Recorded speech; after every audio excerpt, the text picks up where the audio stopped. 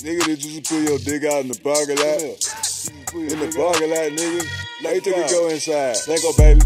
No, he ain't homophobic. Just a nigga do talking like. Ah, let a nigga come suck it. It's not gonna be up in no parking lot. She said, baby, your head too big.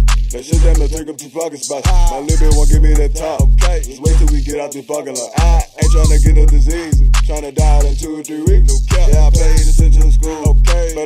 Small to see. My little bitch don't want to answer the phone. Yeah. I look back at my bro like, what's up? He looking back like, bro, we in the parking lot.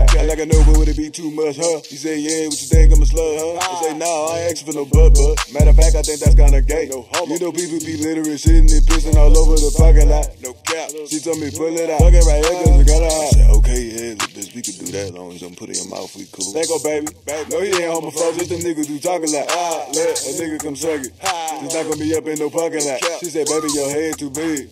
That shit down there take up two parking spots. My ah. little bitch won't give me that top. Okay. Just wait till we get out this parking lot. I ain't trying to get no disease. Please take baby